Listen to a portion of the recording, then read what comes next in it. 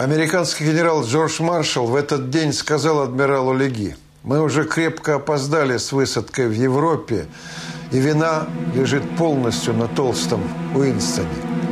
Долгожданное событие Второй мировой войны, которое ждали несколько лет, особенно страстно ждали у нас на Востоке, на полях сражений Советская Россия, обильно политых кровью, наконец-то состоялось.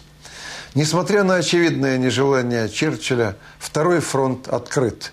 На открытии этого фронта настаивали американские генералы и политики, да и Сталин регулярно в своих посланиях никогда не пропускал возможности указать союзникам на необходимость выполнения ими своих обязательств. Была ли возможность у союзников в июне 1944 года и далее откладывать проведения операции «Оверлорд». Ведь Черчилль неоднократно заявлял, что лучше операцию эту перенести на август 1944 года. Средиземноморская стратегия, на которой настаивала Великобритания, потерпела очевидное крушение. Союзники не добились на итальянском театре военных действий быстрых и заметных успехов и не ослабили способности Германии к сопротивлению. К тому же на Восточном фронте в это время потерпел крушение Германский фронт на Украине. На очереди была Белоруссия и Красная Армия уже начинала свой поход в Центральную Европу. Союзники опасались, что советские войска могли бы выйти не только к Берлину и Вене, но и к французским границам, где-нибудь в районе Эльзаса и Лотарингии. Восточный фактор играл очень большую роль в принятии решений и тем, и другим противникам, и Германии, и союзниками. Нельзя было не учитывать и того, что у Германии уже появилось ракетное оружие и реактивные самолеты. И хотя британская разведка прекрасно знала, когда полетят ракеты в сторону Великобритании, но она не могла все-таки предсказать того, что еще могут предложить для войны, находясь у последней черты, германские военные ученые. Таким образом, операция «Оверлорд», которую союзники неоднократно переносили, уже не могла не начинаться. И это грандиозная, единственная в истории Второй мировой войны десантная операция началась.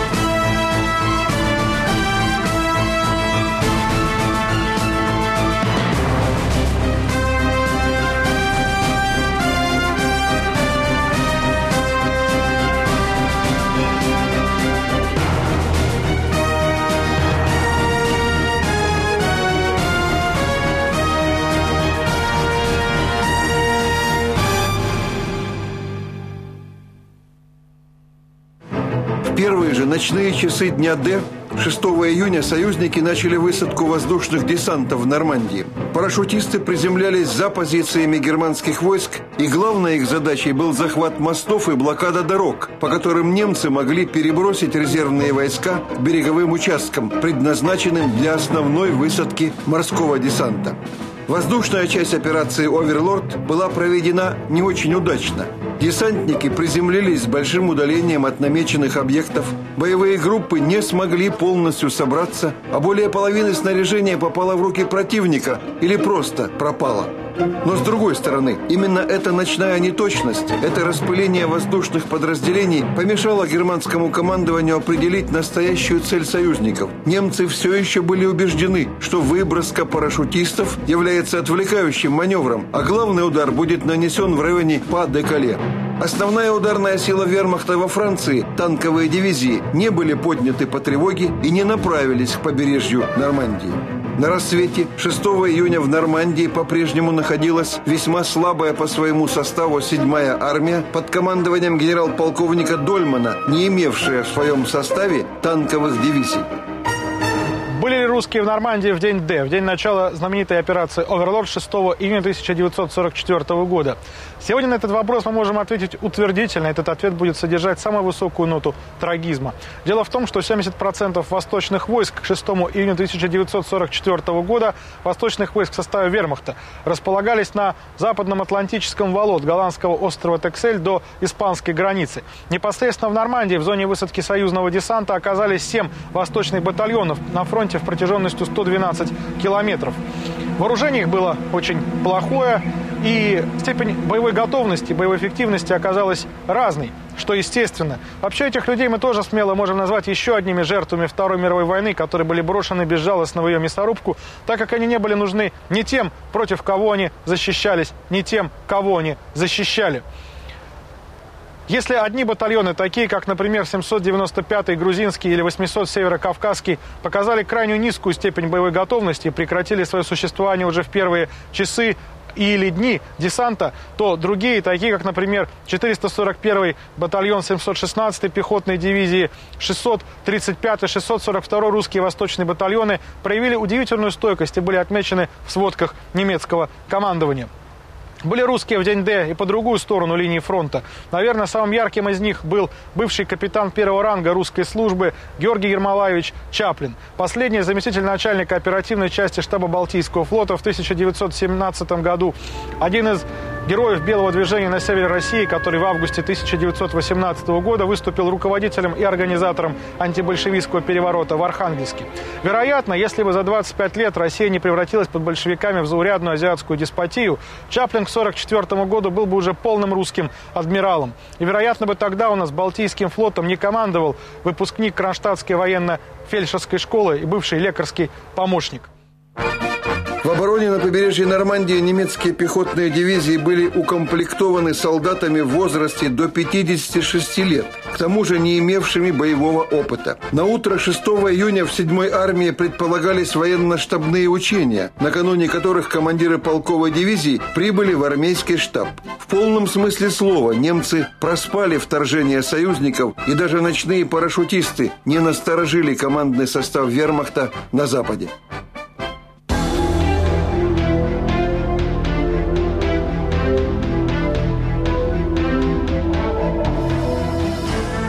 Недавно прибывший с Восточного фронта командир немецкого 6-го парашютно-десантного полка подполковник граф Фридрих фон дер Хейте вспоминал, войска, которым предстояло противостоять высадке союзников, не шли ни в какое сравнение с теми, кто воевал на Восточном фронте. Моральное состояние войск во Франции было низким. У большинства унтер-офицеров и солдат отсутствовал боевой опыт.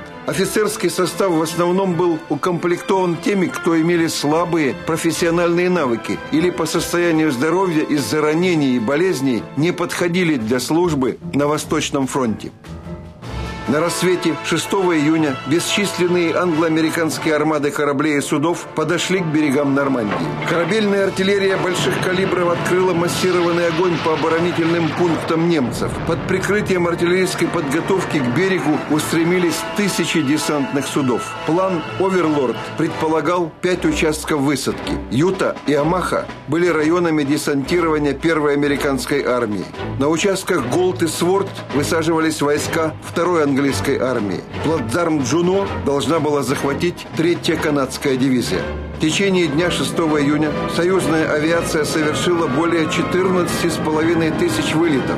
Погода в часы высадки заметно улучшилась, что помогло десантникам достичь берега. Но все же море было достаточно бурным, чтобы несколько десятков плавучих танков на плацдармы не вышли, а пошли на дно.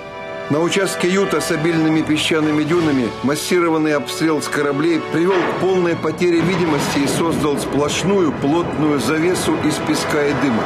В итоге десант уклонился почти на 2 километра к югу от запланированного участка. И это случайное отклонение от плана спасло первый эшелон американских солдат от флангового огня двух немецких батарей большого калибра. Там же, где американцы высадились, оборона была слабой, и немецкие гарнизоны удалось быстро подавить.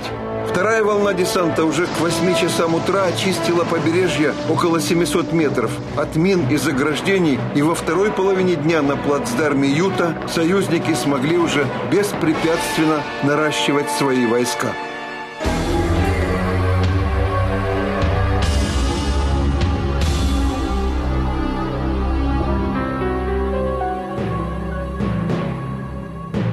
Главнокомандующий союзными войсками генерал Дуайт Дэвид Эйзенхауэр родился в Техасе в бедной семье в 1890 году. Популярность в военных кругах приобрел во время учения в Академии Вестпойнта. Важным для дальнейшей карьеры Айка, как звали его близкие, оказалось знакомство с генералом Маршалом, влиятельным как среди военных, так и среди политиков Соединенных Штатов. Эйзенхауэр руководил англо-американскими войсками во время проведения операции «Факел» и военной кампании в Северной Африке, где американский генерал продемонстрировал скорее дипломатические, чем военные способности. В Африке у союзников между планами и действительностью дистанция была огромного размера. В период подготовки и проведения операции «Оверлорд» Эйзенхауэр показал себя умелым, решительным полководцем, не боявшимся риска, хорошим организатором и стратегом. Эйзенхауэр закончит войну в качестве легендарного героя, как в США, так и в Великобритании, что позволит ему стать на два срока с 1953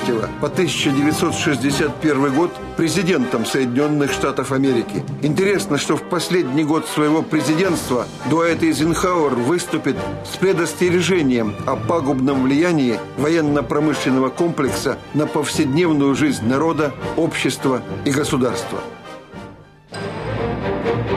Участок высадки Амаха внешне выглядел более благоприятным, чем соседние. На нем войска с десантных судов должны были пройти к берегу около 300 метров по отмели, усеянные минными препятствиями и заграждениями. Но немцы на этом участке ожидали высадки и, конечно, в гораздо большей степени, чем где-либо подготовились к вторжению с моря. Более двух полков, лучших по боевому составу, готовились встретить на участке Амаха американских солдат. В день высадки потери потери здесь были более двух тысяч человек. К тому же скопление десантных судов перед участком Амаха мешало друг другу, и только часть из них могла одновременно двигаться к берегу. Именно на участке Амаха разведка союзников не сумела выявить почти половину замаскированных долговременных укрепленных пунктов, а корабельная артиллерия не разрушила их. В начальной стадии из 32 плавучих танков 27 утонуло, и только 5 достигли берега. Отмель преодолевали под яростным огнем противника, и только одна треть первой волны ее преодолела. К 8 часам утра ни одна машина или танк не вышли за пределы береговой отмели. Американские солдаты в безнадежной ситуации первых часов вторжения продемонстрировали и отменную выучку, и незаурядное мужество. Но по мнению многих военных историков, на участке Амаха только чудо позволило удержаться на берегу.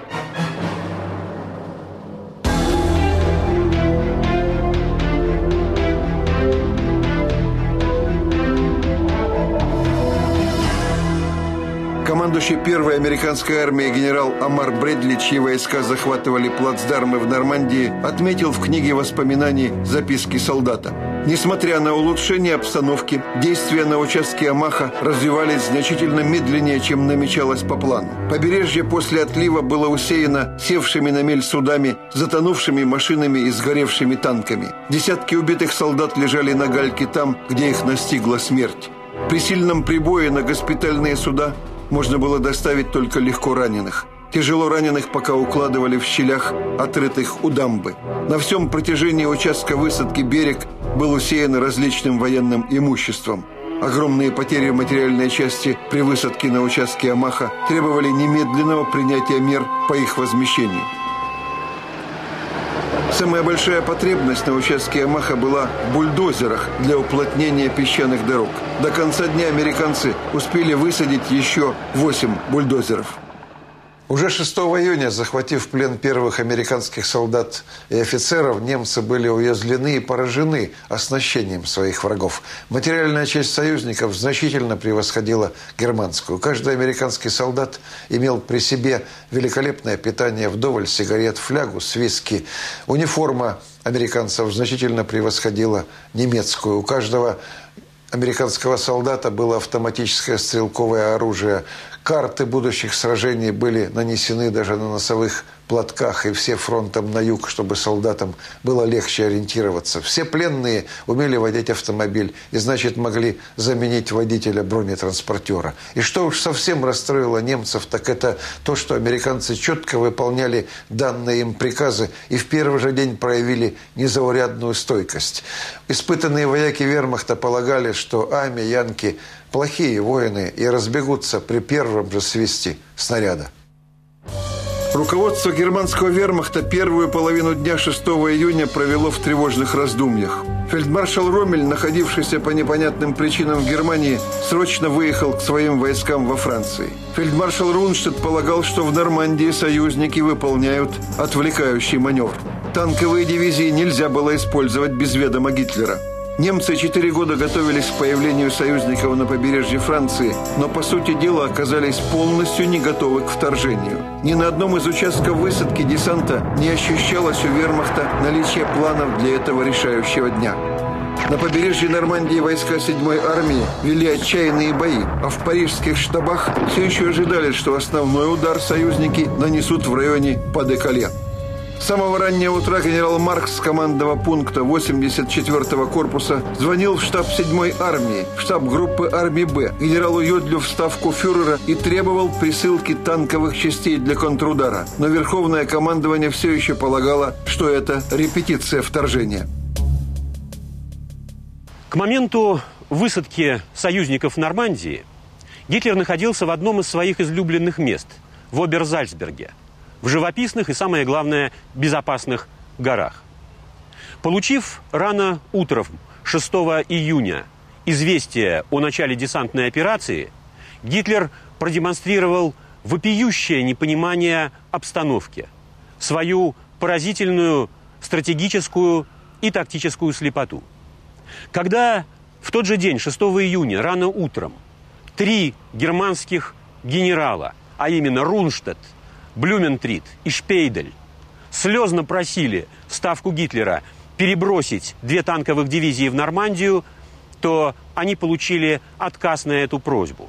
Более того, Йодль, с которым они вели переговоры, заявил им, что фюрер не будет принимать никаких решений до тех пор, пока сам детально и обстоятельно не разберется в развивавшейся обстановке.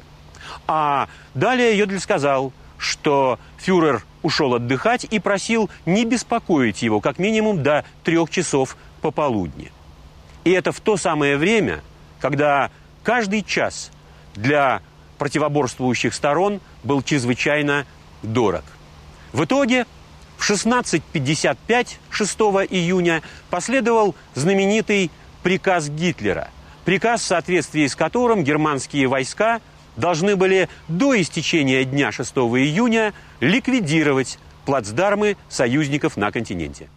Когда мы рассказывали о военных действиях в Северной Африке, мы говорили о том, что у гитлеровской Германии была возможность активизации национально-освободительных антиколониальных движений в Алжире и Марокко, Тунисе, Египте, Сирии и Ираке. Тот же резерв оставался у Третьего рейха и на Восточном фронте. Руководство вермахта неоднократно пыталось привлечь внимание Гитлера к русскому национальному антикоммунистическому движению. Но фюрер интуитивно чувствовал, что эти силы, преследующие свои очевидные цели освобождения России от большевистского ига, не являются и его Гитлера союзниками и только временно используют его слабости. Генерал-лейтенант Андрей Андреевич Власов до войны принадлежал к числу самых талантливых советских генералов. В начале войны на Востоке Власов командовал четвертым механизированным корпусом, который без всякого толка по приказу о контрударах был брошен навстречу наступающему вермахту и разгромлен. Генерал армии Власов с группой войск организованно вышел из окружения. Затем он командовал 37-й армией в обороне Киева, где показал себя умелым полководцем. 37-я армия была собрана сбору по сосенке, но под командованием Власова выделялась своей стойкостью.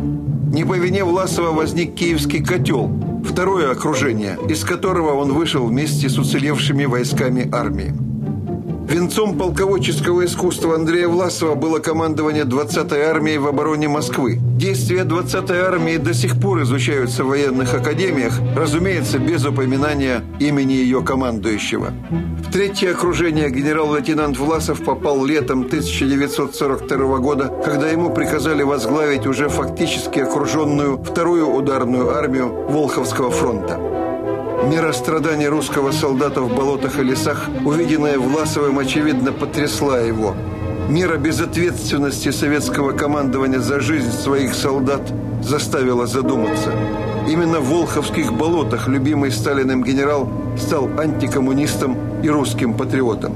Конечно, двойственность его судьбы всегда будет вызывать споры, но факт остается фактом, что власовский поворот к православию и русским национальным корням заставил Сталина инициировать возвращение к русским традициям, ослабить преследование русской церкви и тем самым выбить козыри из рук своих врагов.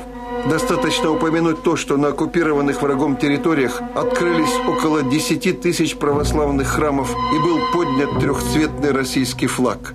И только после этого в сталинской России было позволено возродить около 7 тысяч православных приходов.